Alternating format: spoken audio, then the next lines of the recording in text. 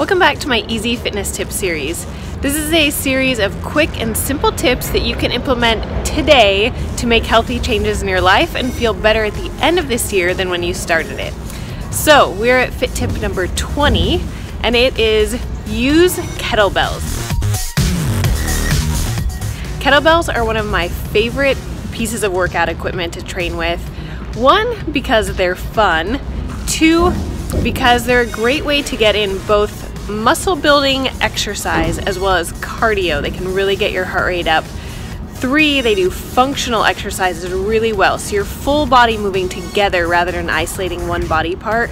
And four, because you can really train unilaterally very well. So rather than, say, move a machine with both arms, like a chest press, where one arm can kind of take over, when you're using kettlebells, there will be a lot of core strength, balance, coordination involved in order to keep the weight in place and perform things with correct form.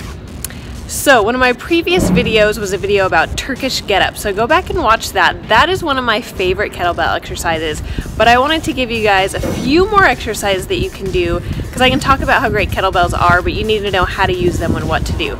So this video is going to show you four exercises that you can do. You could do this as a circuit in like 15 20 minutes and get a great workout in the morning. I keep a kettlebell in my house and it's one of my favorite ways to just get in a quick workout when I want to work out hard but I've only got maybe 20 minutes in the morning to do something. So I'll do exercises like these in a circuit or three sets of each and then move on to the next.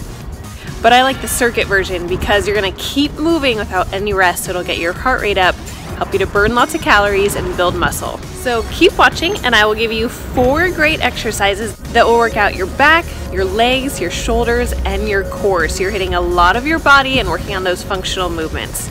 So try these out, do it for your next workout, and let me know how it goes in the comments below. And I will see you soon for the next Fit Tip.